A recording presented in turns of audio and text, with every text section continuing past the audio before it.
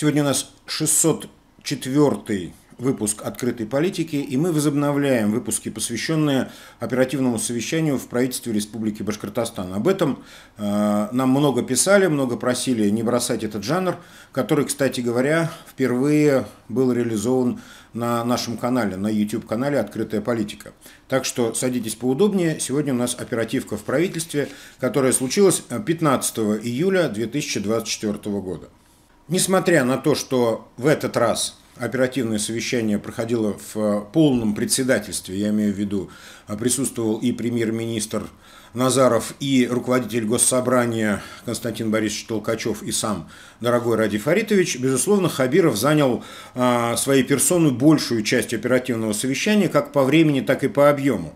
Сейчас все медийные усилия органов государственной власти и подконтрольных им СМИ сосредоточены на э, задаче э, доказать населению годность дорогого Радия Фаритовича э, к использованию на второй срок в качестве руководителя Республики Башкортостан. Ну, не знаю, до конца не верю в то, что за два месяца, которые остаются до выборов, а это даже меньше, чем два месяца, опровергнуть все печальные итоги и последствия правления Хабирова в сознании населения не удастся. Я вообще полагаю, что это невозможно. Большой это вопрос, смогут ли переубедить избирателей. Ну, а если э, твои пиарщики – это, простите, Барданов и Кельсенбаев, этот вопрос уже не вопрос на самом деле, а просто анекдот длинный рассказ о том, какой он замечательный, способный и успешный, Хабиров начал с того, что в Бирске установил новый монумент. На этот раз это памятник э, двум православным святым – Петру и Февронии Муромским, являющимся символом традиционной русской семьи – как известно, а, из блога самому, самого Радия Хабирова на обратной дороге из Бирска Хабиров слушал очистительный Курай, видимо, уравновешивая в своей душе тягу к православию и э, к своим исконным, как говорится, генетическим корням. Далее Ради Хабиров строго сообщил, что посещение Э, дощатой конструкции в Чешминском районе, которую Хабиров и его товарищи почему-то именуют визит-центром музея кочевых народов. Так вот, посещение этой дощатой конструкции теперь обязательно для школьников и пенсионеров, и в скором времени э, последних э, начнут свозить туда автобусами. Ну, даже, возможно, организуют какое-нибудь кафе, конечно же, с шашлыками, но это, как говорится, не точно. В своем бесконечно долгом вступлении к оперативному совещанию Хабиров упомянул и посещение форума «Инопром». Благоразумно умолчав о своем фиаско с презентацией башкирского дрона, Хабиров особые надежды возложил на производство электрических двигателей для беспилотных летательных аппаратов. А также упомянул и об открытии некого центра искусственного интеллекта, видимо, в связи с окончательным разочарованием в природном интеллекте своих подчиненных – но это, собственно, и не удивительно. Если бы я ежедневно всматривался в преданные лица а, Барданова и Кельсинбаева, я бы точно, как Хабиров, заговорил на все лады о необходимости искусственного интеллекта. Продолжая экскурсию по славным делам прошлой недели, Хабиров сообщил а, интересную, кстати говоря, новость, по крайней мере, это интересная точка зрения. Ради Фаритович заявил, что всякий рейтинг – это вам не просто тщеславие, а надежный источник денежных ассигнований. Жалко, что Хабиров э, не сообщил, во сколько нам обходится участие в этих рейтингах и какова действительно реальная монетарная отдача от этих рейтингов в бюджет Республики Башкортостан. А Хабиров рассказал, что к нему на, на прошлой неделе приезжали важные узбеки из Каракалпакстана. Это такая часть Узбекистана. Эти самые узбеки показали Хабирову много-много денег – но поддержать они их ему не дали. И теперь Хабиров планирует нанести им ответный визит, ну, естественно, за бюджетный счет. Наверное, станет убеждать э, каракалпакцев, или вот этих вот богатых узбеков, доверить ему те самые несметные богатства. Я со своей стороны надеюсь, что узбеки эти на самом деле э, хотя бы в детстве читали сказку про э, поле чудес и страну дураков. В своем вступительном слове Хабиров продолжал демонстрировать повышенную заботу о жителях Зауралья. На этот раз он бесконечно позаботился о жителях Учелов. Он пообещал, цитирую, «не сейчас, но когда-нибудь потом, разобраться с проблемой водовода в Учелах, который находится в катастрофической ситуации и грозит в ближайшую зиму лопнуть и оставить населенный пункт без воды». Хабиров, впрочем, сказал, цитирую, «В этом году денег нет, уже все раскидали, но вот потом...» Конец цитаты. Звучало это примерно так. Перевожу с Хабировского на Учелинский.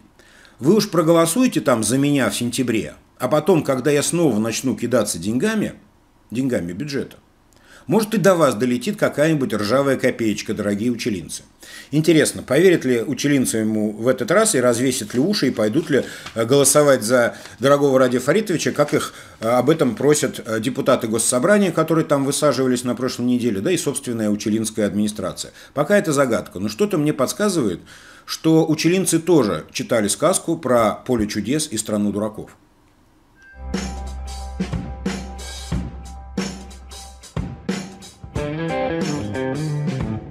В очередной раз напоминаю вам, что ваша помощь, материальная помощь каналу «Открытая политика» – это не для того, чтобы я путешествовал, а для того, чтобы канал продолжал существовать дальше. Ни одной копейки из тех пожертвований, которые вы перечисляете на наш расчетный счет, который вы сейчас видите на экране, и можете найти в описании под любым видео на нашем YouTube-канале. Так вот, ни одной копейки из этих денег не попадает в мой карман. Можете не беспокоиться, эти деньги будут использованы только на содержание канала. Более того, помогать нашему каналу не только приятно, но и абсолютно безопасно и законно. Так что заранее всем спасибо.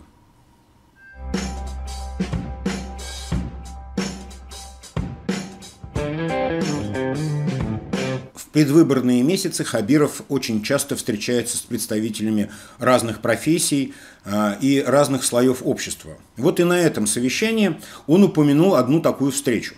Прозвучало это исключительно по Фрейду. Цитирую дословно. 11 июля мы встретились с деятелями избирательного искусства. Значит, 11 июля мы встретились с деятелями избирательного изобразительного искусства республики. Тут я вздрогнул, что это за избирательное искусство. На самом деле Хабиров имел в виду изобразительное искусство. Он, конечно, поправился, но очевидно, что сознание Радия Фаритовича перебирает бесконечно риски на тех выборах, до которых осталось, собственно, 52 дня. И стоит напомнить дорогому Радию Фаритовичу, что это именно он, деятель избирательного искусства. И вскоре ему предстоит продемонстрировать всем нам, избирателям, очередное его сюрреалистическое произведение в этом жанре с рабочим названием в стиле Сальвадора Дали – я предлагаю назвать это произведение избирательного искусства примерно так. «Моя победа на выборах, несмотря на то, что никто за меня не голосовал». Примерно так будет называться это произведение. Но э, слово «не воробей» вылетело «не поймаешь». И, в общем, Ради Фаритович э, встретился с э, представителями избирательного искусства.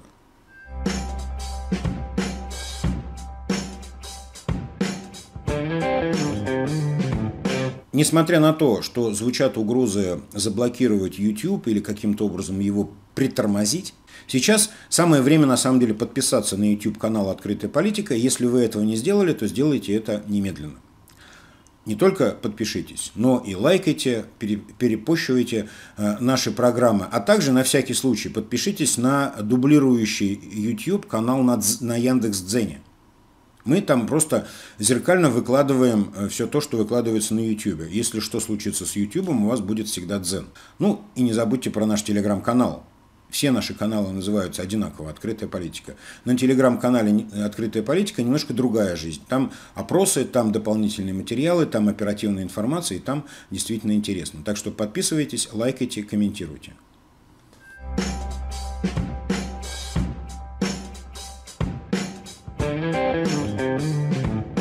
Далее перешли к штатным вопросам оперативных совещаний и послушали доклады о ситуации на дорогах и в жилищно-коммунальном хозяйстве. Ирины Головановой, министра жилищно-коммунального хозяйства республики, почему-то в зале не было, то ли она опять в отпуске, то ли, может, приболела, не дай бог. И, как обычно, за нее докладывал заместитель министра Юрий Палтусов. Несмотря на летний период, в республике Башкортостан не снижается Э, уровень э, количества коммунальных аварий и крупных аварий за минувшую неделю было три. Это те самые, которые э, случаются при отключении коммунальных услуг более чем на 8 часов. Аварий поменьше, лицемерно именуемых техническими инцидентами, только в одной Уфе случилось аж 30. Собственно, Юрий Палтусов ничего особенно нового нам не сообщил. Любовь Минакова, продолжающая исполнять обязанности министра транспорта и дорожного строительства взамен подследственного Колебанова, поведала о том, что так и не смогла в минувший период справиться с ростом уровня смертности на дорогах э, Башкортостана. На данный момент погибших э, в Башкирии за вот 2024 год уже 191 человек. Э, собственно, ни для кого не секрет, что одной из главнейших причин смертности и аварийности на дорогах республики является отвратительное состояние этих самых дорог, но об этом, как говорится, лучше помолчать в предвыборный период.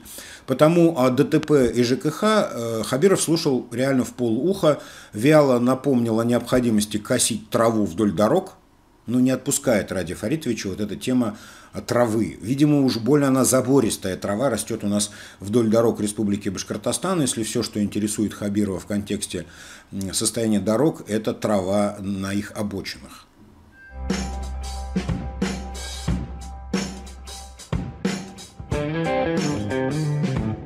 Завершая оперативное совещание, Ради Хабиров заявил о том, что пришло время, как он выразился, к сожалению, поговорить о более сложных вещах. А именно о том, как обстоят дела с ремонтом так называемых «фонящих дорог». Напомню, что этот термин изобрела э, экспиарщица э, Хабирова, а ныне осужденная мошенница Елена Прочаковская. Вопросов э, к этому процессу и вообще к самому термину «фонящие дороги», конечно, масса. Отдельные вопросы у правоохранителей, например, должны возникнуть к самому факту формирования фонда по ремонту вот этих самых дорог и к механизму Э, выбора объектов, которые включаются в эту программу. Но пока, насколько мне известно, эта программа не проверяется силовиками. Надеюсь, что это случится в будущем. Доклад на эту, как выразился э, Хабиров, печальную тему делала все та же исполняющая обязанности министра транспорта и дорожного строительства Любовь Минакова. А, напомню, что когда в прошлый раз, несколько месяцев назад, эту тему затрагивали, Минакова, не желая брать на себя наследие Клебанова, однозначно заявила о полном провале проекта «Фонящей дороги». На тот момент контрактов не было заключено, план был абстрактным, деньги зависали. Ну, то есть обещать-то пообещали, а к реализации не приступили. Это было некоторое время назад. Теперь Любовь Викторовна осторожно сообщила, что проект – а, призванный решать самые острые вопросы а, бездорожья в Республике Башкортостан, а, будет реализован в лучшем случае в 2026 году, то есть завершены все работы. 30% объекта, объектов, которые включены в этот перечень тех самых фонящих дорог, до сих пор даже не законтрактованы. На подавляющем количестве объектов, входящих в планы работ, Э, эти самые работы начнутся, как выразилась э, Минакова, в июле. Видимо, она не ориентируется э, в реальном времени и подзабыла или, может быть, перепутала. Она ведь уже в июле и находится. Причем июль этот самый находится вполне себе в зените. Вообще Минакова тщательно избегала упоминать точные даты, суммы, названия подрядчиков, да, собственно, и многие названия объектов она так и не обозначила в своем докладе. Остается неразъясненным и ее постоянно упоминаемый термин «приведение дорог в порядок». Каким образом э, этот странный абстрактный термин сочетается с государственными стандартами состояния автомобильных дорог, например? Совершенно непонятно. И как они там будут контрактоваться? Вот по этому абстрактному понятию или все-таки по государственным требованиям? Непонятно. Единственное, что достаточно внятно заявила Любовь Викторовна, это то, что центральные улицы Уфы будут отремонтированы точно к выборам э, дорогого Ради Фаритовича, чтобы избиратели Хабирова в столице Республики Башкортостан могли ощутить на себе, как похорошела э, Уфа при э, дорогом Ради Фаритовиче. Это, безусловно, будет сделано. То есть все силы брошены на проспект Салавата Юлаева, проспект Октября и некоторые еще другие дороги. Под занавес пришлось немножко поговорить и про дороги, которые должны были бы оборудованы к садовым товариществам, что тоже понаобещал дорогой Ради Фаритович сгоряча недавно. Увы, Минакова сообщила, что работы так и не законтрактованы до сих пор, а на дворе, напоминаю, э, Минаковой уже середина лета, ровно календарная середина лета. И в лучшем случае вот эти подъездные пути к э, товариществам э, садовиков и аграриев – отремонтируют только к октябрю месяцу.